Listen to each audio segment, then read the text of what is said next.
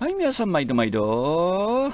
こちらはね、吉田洋みたいなね、あの、レイヤーカットね。ただ前髪だけは実用的にね、あの、短く切ってね、長めにすると邪魔くさいんでね。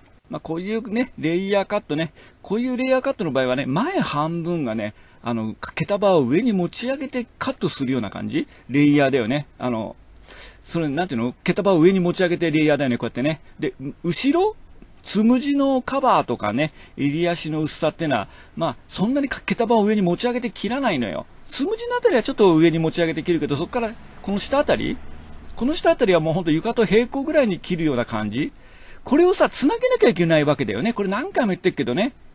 バックサイドで繋げるんだけどね、そのバックサイドっていうのがね、皆さん考えてる以上にね、狭いのよ。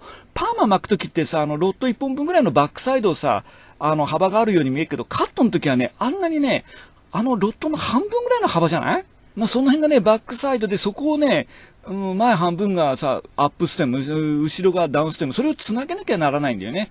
これはね、やっぱりスライス、スライスをね、分厚く取ってね、適当にこうやって繋ぐしかないのよ。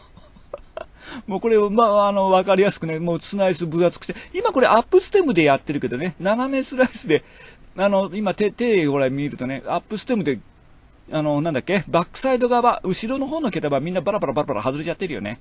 あれ、あんな感じでいいんだけどね。まあ、こうやって切ったらね、最後にこちらの方ね、ブローを終わってから見るとね、やっぱりあの、指からパラパラパラパラさ、あの、ば、後ろ側の毛ってのがほら、バラバラ外れてんじゃない？あれが結局ね、重さとしてちょっと残ってたんだよね。だあれはね、ダウンステムで、今、あの、バックサイドアップステムで切ってでしょ？そのあの、バックサイドの毛をダウンステムで、まあ、最後の方切って、あの、重さ取ったんだけどね。これはちょっとね、説明難しいね。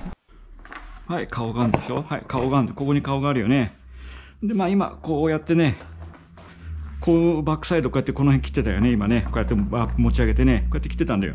で、こうやって手から、手からこうやってバラバラ外れてたやつがここら辺に来るでしょ？これ、これが重さになったね、この辺がね。だから最後の方にね、こういう風に持ってね、ここら辺でこう適当に、この辺の重さ切ったんだけどね。ば、耳でしょ？耳でしょ？はい。お耳がね、ちょうどこうやって持って、この辺の重さを切ったんだよね。これだと切り取れなかったんだ、結局ね。